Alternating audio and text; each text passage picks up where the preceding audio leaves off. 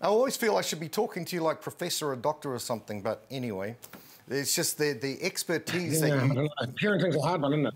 Yeah, it, absolutely it is. You know, because you're not a doctor, it doesn't necessarily prepare you for parenting. I think probably my foster parenting and being a foster child was probably more prep for parenting than all of the qualifications I've got, in all yeah. honesty. Okay, beautiful.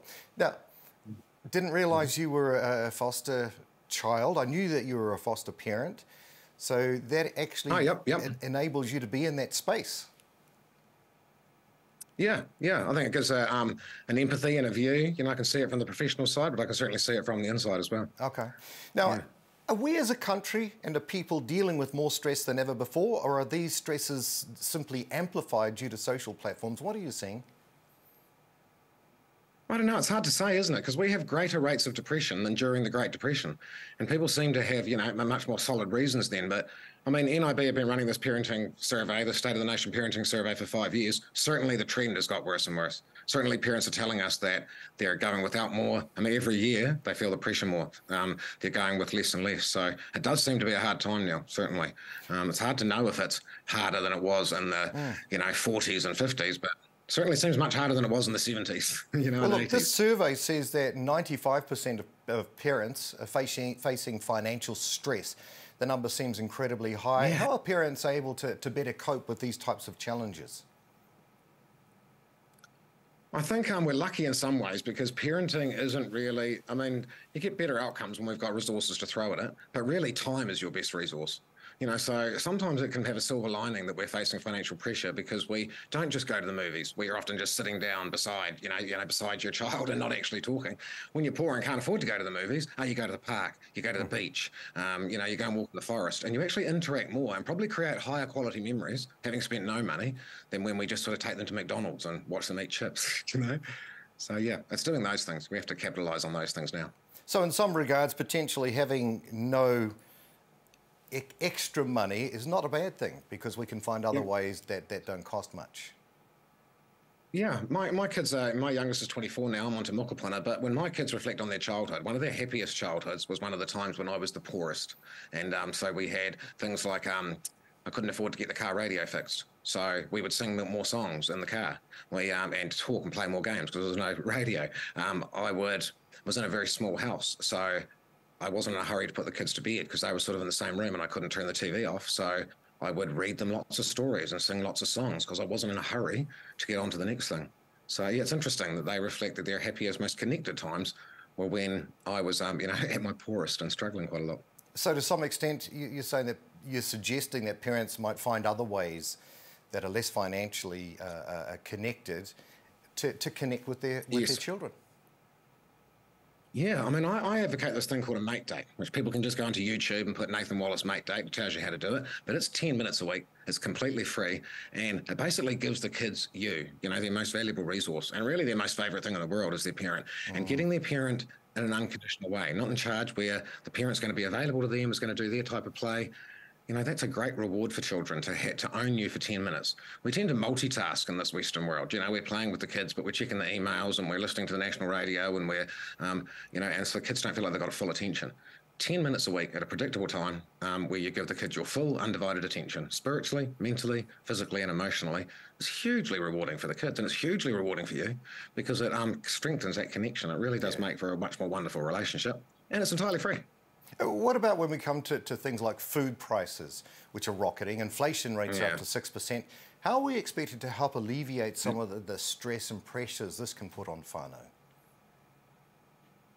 That's a hard one, food, because it's basic. You know, uh, other than growing uh, growing your own. You know, the NIB is showing that um, the, the State of the Nation Parenting Survey is showing people are going with less fruit and vegetables. They are feeling the pinch. They're you know they're spending the same amount on um, groceries, but with inflation means that they're eating less each time.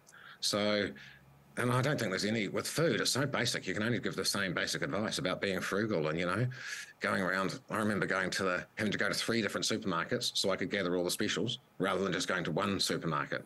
You know, when things are really tight. There are ways you can get around it. Um, you know, to an extent, but yeah. And some parents have major concerns around their children's financial future. Is finance something we should be discussing with children? Well, I think being financially and fiscally intelligent is good, but you don't want to put extra stress on your children. Mm. You don't want your children um, um, having the stress of adulthood and being worried about the electricity bill and is there going to be enough money? And so it's about writing that balance between teaching them to be fiscally responsible. And we do that through the traditional parenting things of, you know, giving them pocket money, helping them to budget their $10 a week and where it's going to go. I mean, those sorts of things are all we can do as parents to, um, you know, to help them prepare um, fiscally and financially. Unless you're going to leave them a big trust fund, which, you know, doesn't happen a lot. yeah, and, and to your point also, it's balancing work and parenting time with children. Is it a new thing, regardless of socioeconomic status, where parents need to be working longer hours? Is this a problem increasing for families? I think it's a huge problem, and that's certainly what the, the parenting survey is showing that parents are feeling more and more the squeeze of trying to balance parenting and work. You know, we now have to have both parents work. Most of us don't live in the same community as our extended family, so we don't have those same networks.